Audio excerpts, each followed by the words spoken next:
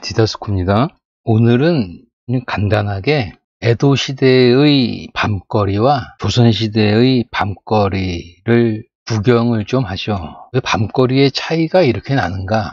에도 시대는 505민이라고 하는데 민들은 50%의 세금을 냈는데 왜 이들은 이렇게 화려하게 살고 왜 이들은 이러한 화려한 밤거리인가? 조선은 10%의 세금이라는데 단적으로 세금 세율만 비교해 보면 그런데 왜 조선의 밤거리는 저러한가? 그런 것에 대한 고민은 나중에 한번 따로 모아서 해볼게요. 1719년 9월 11일자 기록이에요. 조선통신사가 임진왜란 이후에 1719년에 일본에 간 기록이에요. 신유환이란 사람의 해유록의 일기의 형식으로 기록된 기록물이에요. 이것의 조선통신사의 일본 방문은 임진왜란 이후에 아마 아홉 번째 방문일 거예요, 이게.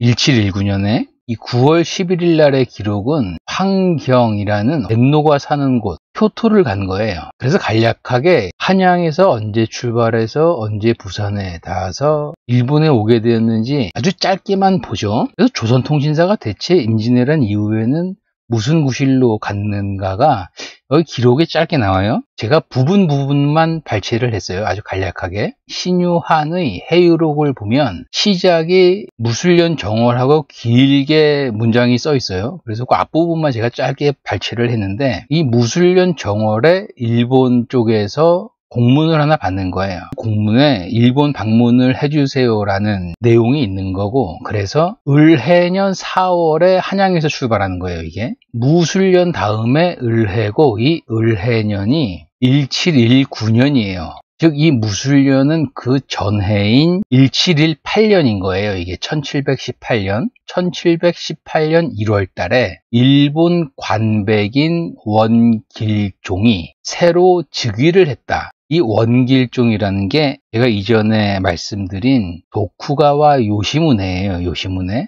이 도쿠가와 이에야스가 겐지잖아요. 겐지. 일본 소리는 미나모토예요. 미나모토. 대마도에서는 미나모토 요시무네 이렇게 공문을 보낸 거예요. 자, 그래서 이 요시무네 8대 쇼군이 새로 자리에 올랐어요. 이 사람은 1716년에 올라요. 공문은 2년 후 정월에 지금 소개되는 거예요. 이게. 대마도 태수, 태수라는 게 영주인 거죠. 태수라는 단어는 중국과 조선의 단어고 대마도 쪽에서 조선식의 단어를 써준 거예요. 이건 태수라는 단어를 일본에서는 쓰지를 않아요. 한자 이름 평방성이가 보낸 거예요. 공문을 사신을 부산 동래관에 파견했다는 거예요. 부산의 동래관이 조선시대 때 일본과 무역하는 그 관청이에요, 이곳이. 일본과의 정보 교류를 부산의 동래관을 통해서 하는 거예요, 이게. 이 사신의 보고서에 의하면 자기들의 신군, 새로운 군주인 요시무네가 이 찬이라는 게 있다, 계승하다예요. 나라를 유, 해부, 홀드예요. 나라를 이 요시무네 새로운 군주가 이었다는 거죠. 옛일을 다시 조선에 청한다는 거예요. 신뢰를 담은 문서를 조선 쪽에 바칩니다. 이웃의 화목을 닥자하면서 이 자기들의 문서를 바친다는 거죠, 이게. 그 명분은 이 요시문네의 즉위예요. 그래서 임진왜란 이후에 이게 9차인데 요시문네는 여덟 번째 초군이고 임진왜란 이후에 에도시대의 조선통신사 방문은 이 쇼군이 새로 즉위할 때 그때 조선 통신사를 초대하는 공문을 이렇게 보내는 거예요. 이게 웃기게도 3대 이에미스 때부터 8대 요시무네까지는 대개 쇼군이 즉위할 때 이런 초대장을 받고 가는 거예요. 그래서 이 조선통신사의 이 방문의 목적이라는 게 어떻게 보면 좀 우스운 거예요, 이게. 쇼군이 새로 즉위하는데 인사하러 조선 쪽에서 가는 모양새잖아요, 이게. 그렇죠? 1년 후인 4월에 1719년에 4월 11일 날 양재역에서 일단 숙박을 했다는 거예요. 지금 양재역의 정확한 한자가 이 글자예요. 그래서 4월 11일 날 양재역에서 하룻밤을 자고 5월 13일 날 부산에 도착을 하는 거예요, 이게. 그래서 도착한다라는 단어를 이 저자라는 단어를 써요. 그래서 한양에서 부산까지 대략 한 한 달이 걸리는 거예요, 이게. 부산에 5월 13일에 도착하고 한 20일쯤에 제가 한 일주일 지나서 배를 타고 출발을 해요.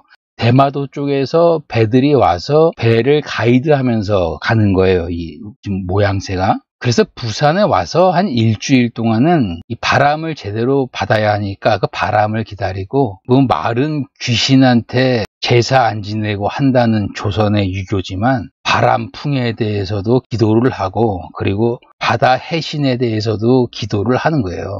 온갖 미신짓은 다 해요 또. 자, 그리고 15일 날 기록을 보면 부산에 와서 이틀 후에 새벽에 객사를 나와서 망궐예에 참석을 했다는 거예요. 망궐예. 벌을 바라보면서 예를 갖추는 거예요. 이 조선, 이 조선이라는 곳은 킹이 신이거든요. 킹이 하나님이에요. 한양을 벗어나면 이 신하들은 밖에서 이 킹이 있는 궁궐을 향해서 예식을 차리면서 절을 하는 거예요, 이게. 이게 망궐리예요. 그 이순신의 난중일기를 보면 이 망궐리 하는 날짜들이 있어요. 그래서 망궐리 하는 날이 되면은 산에 올라가서 선조가 있는 의주를 향해서 이순신이 망궐리를 또 해요. 이 망궐리를 또 언제 해요? 중국 글이에요. 속국의 군주가 중국 황제가 있는 궁궐을 향해서 예배를 하는 의식이라는 거예요. 조선 왕조 시대에 조선 군주인 조선 킹이 설날, 동지, 중국 황제 생일, 중국 황태자, 황제의 아들의 생일, 이때 조선 킹이 한양에서 서울에서 지금 서울이라는 거죠. 북경을 향해서 요배, 멀리서 절을 했다는 거죠. 위대한 조선 군주께서. 얘들은 완벽한 중국 애들의 노예예요, 노예 이게. 이 중국 애들을 향해서 이런 망골리하는 속국도 이 조선이 유일한 거예요. 웃기게도. 참 비참한 나라예요. 조선이라는 나라가. 이런 조선이 위대하다는 거고 그래서 중국몽을 꿔야 한다는 거고 완벽하게 조선 500년의 정체성을 가진 사람이 현대에 이 조선 땅의 킹이 돼서는 역시나 설날에 중국 분들을 향해서 설날 인사를 드리는 거예요. 왜 그런 짓을 해요? 이 망골예를 회복하자는 거예요. 21세기에 그분이 저들의 위대한 우상님이신 저분께서 참 이 조선이라는 정체성의 민족이란 인간들 참 재밌는 사람들이에요. 그래서 이때 5월 한 20일쯤에 부산에서 출항을 해서 9월 11일쯤에 덴노가 사는 교토에 오는 거예요, 이게. 대략 4달이 걸린 거예요, 여기까지 오는데. 군데군데 거치면서 인사하면서 오는 거죠, 쉬엄쉬엄. 그래서 이날 기록만 잠깐 보죠. 막다라는 거예요, 청. 새벽에 일어나다. 산성주예요, 산성주. 이 산성주라는 곳이 야마시로 쿤이에요. 이 산성이라는 야마시로에 표토가 있는 거예요. 이 야마시로 지역 경계로 들어온 거고 지금 이 통신사 일행이 강변에 성이 하나 있는데 이 성 이름이 요도성이에요. 요도성. 이 정할정이라는 글자에 물수변이 있는 이 요도성이 있는 곳이 이쪽 부근이에요.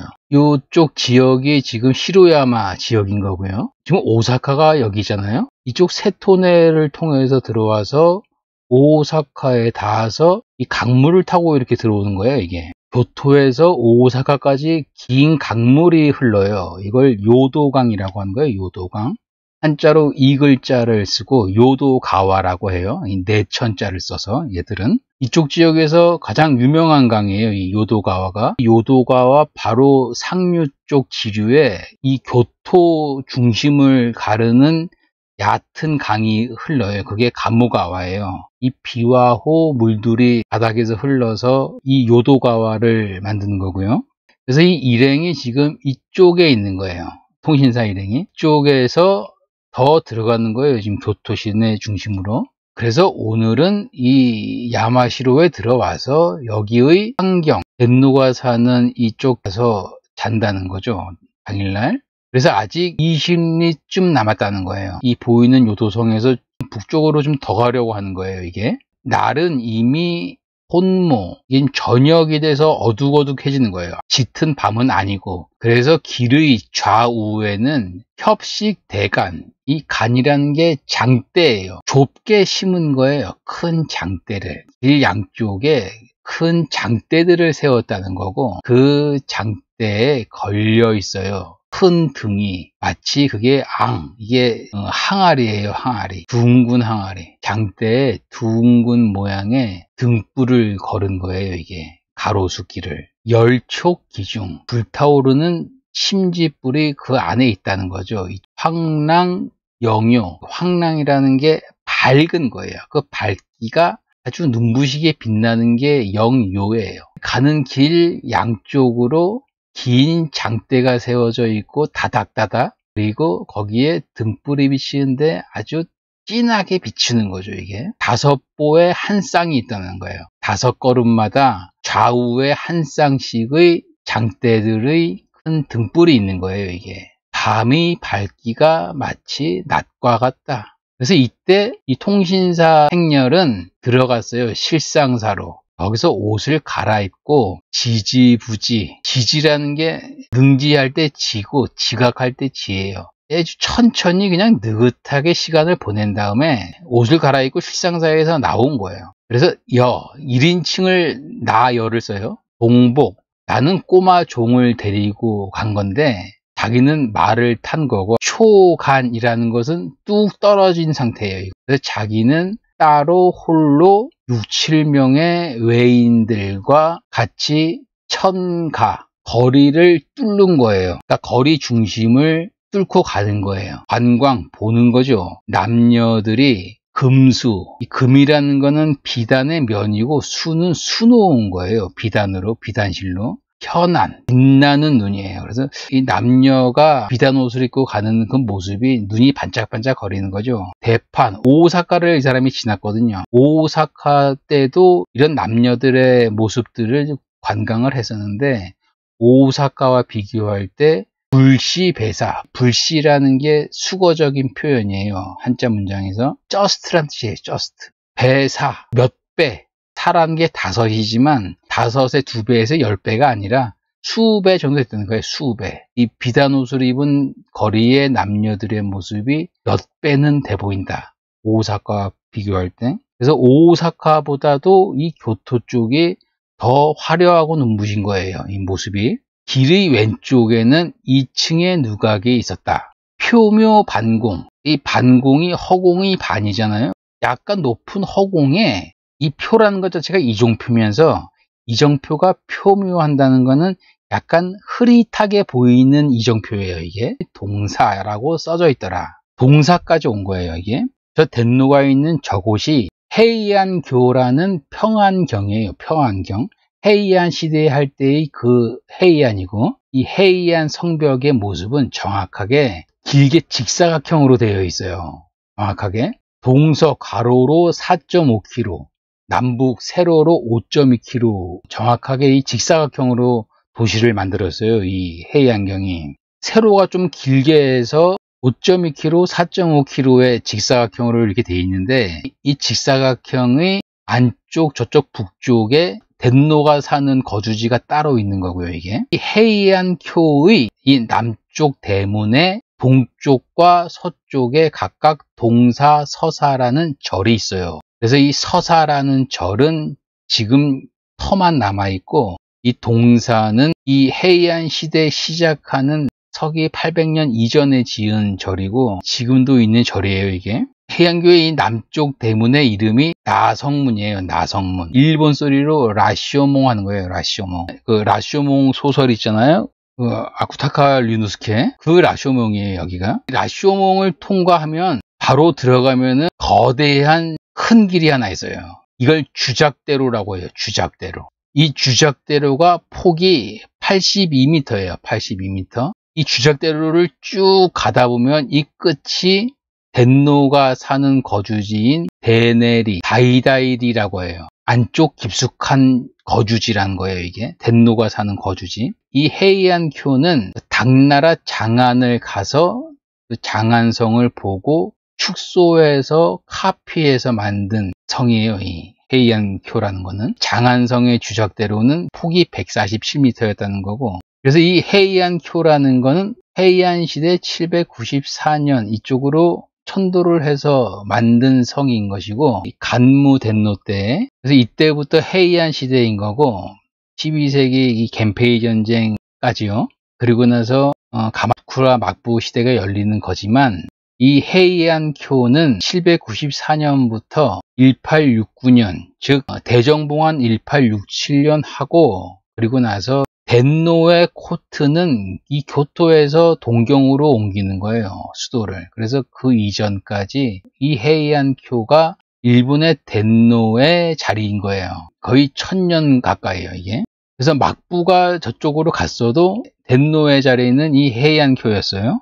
중간에 한 번인가 옮겼다가 다시 이 헤이안쿄로 들어와요, 덴노는. 이 1869년에 덴노가 동경으로 가서 정식 수도가 동경이 되는 걸 동경 전도, 토쿄 텐토라고 해요. 이 전도라는 게 수도를 정한다라는 중국하고 조선도 쓰는 단어예요. 이 전도라는 것은. 즉 이때는 동사를 지나가면서 주작대로 안으로 들어가는 거예요, 이게. 이게 지금 조선 한양식으로 보면은 해안교라는 게 조선의 성벽 아닌 거예요. 이 나생문이라는 게 남대문인 거고 지금 소위 조선에 지금 이 일행이 나생문까지 가는 길 자체도 길 양쪽에 빽빽하게 다섯 걸음마다 좌우로 긴 장대의 가로등 등불이 화려하게 있는 거고 비단옷 입은 남녀들이 빽빽하게 지금 오사카보다 더 많이 다니는 거고 지금 이 모습은 어디까지예요 이게? 서울 사대문 성벽의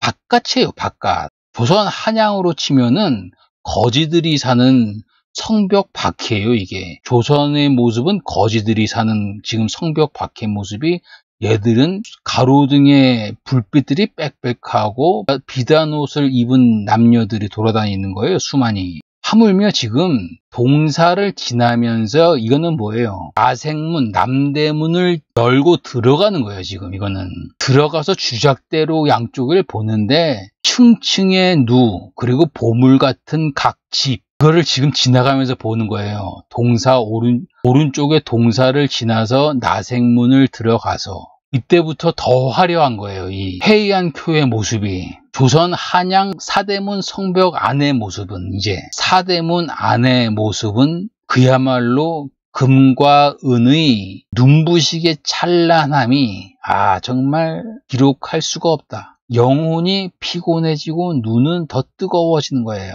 빛들 때문에 난생 처음 보는 거거든 이거는 이런 풍경은 후쿠오카에서도 보고 들어오면서도 계속 봤는데 이 헤이안 큐안은 더 화려한 거예요, 이게. 그래서 내가 역과 지나는 거죠. 이 초가 마을이거든요. 그래서 성벽 안에 들어와서 몇 마일을 지나갔는지 모르겠는데 달빛과 등빛이 함께 이 등빛은 인위적으로 만든 지금 거리의 빛이에요.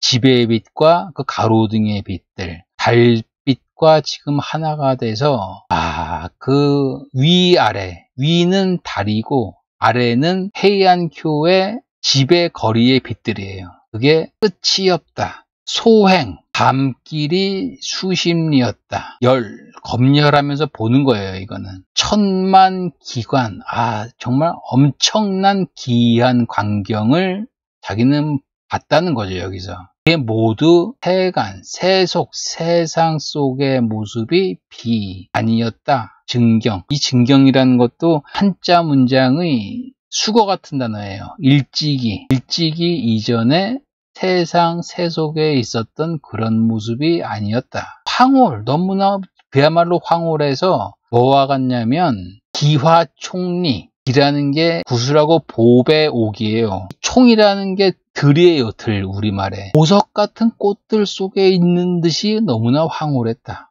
견 보는 거죠 마치. 뭐를요? 복내 백금 선궐의. 이 복내라는 게 금강산 복내가 아니라 후안서에 나오는 중국 신화의 전설로 전해지는 신선이 사는 산 이름이 복내예요. 이 백금이라는 것은 하얀 금속으로 은이에요 은. 하얀 은빛 색깔이에요 이거는 아 중국의 신선이 산다는 그 복내산의 하얀 신선의 궁궐을 보는 것 같다. 해안교의 소위 남대문인 정문의 이 나생문까지 가기 이전에 그 길도 빽빽한 등불이 화려하게 빛나는 가로수 길에 남자, 여자들이 비단 옷을 입고 눈은 초롱초롱 빛나고 그 남녀의 무리가 오사카보다 그 수가 수배인데 이것조차도 이 사람한테는 참 진기한 광경인데 그 남대문 나생문 정문을 지나서 오른쪽에 동사를 바라보고 들어가는 그야말로 헤이안교 조선식의 사대문 안의 모습은 그야말로 전설상의 신선의 궁궐 같다는 거죠. 이 모습 자체만으로도 조선과 비교가 안 되는 거예요, 이게. 다음에는 우리는 조선의 밤거리를 모르잖아요. 이 조선시대 밤거리 해서 검색을 해보시면 참 위대한 조선의 아름다운 밤모습 이런 식으로들 되게 말을 하거든요. 사가들이 자료가 없으니까 그 지옥 같은 깜깜한 조선시대 밤의 모습을 다음 시간에 원문으로 제가 보여드릴게요. 그래서 조선시대는 불이 없어요, 불이. 조선시대에는 소방서가 없어요. 에도 시대에는 대화재 사건이 빈번해요. 왜요? 이런 불빛들의 도시 천국이라서 일본 전체가 화재 사고가 빈번해요. 그래서 에도 시대의 큰 주제 중에 하나가 소방대예요. 소방대. 제대로 소방대 관련 드라마도 있어요. 유명한. 그래서 조선시대 때 소방대가 있다고 하는데 그래서 조선시대 구한말의 조선 소방대를 시연한다는 등 어쩐다는 등 하는 그런 기사들도 있다는데 조선시대에는 불날 일이 없어요. 왜? 조선은 이런 인위적인 불빛이 전혀 없이 그야말로 깜깜한 지옥이 조선의 야경이에요. 그게 현재 북조선의 밤하늘의 모습이고 그래서 한 밤에 인공위성에서 찍은 한반도의 모습은 이쪽 남쪽만 찍히는 아 여기는 섬인가? 북쪽은 깜깜한 거고. 그 모습을 다음 시간에 보죠. 원문으로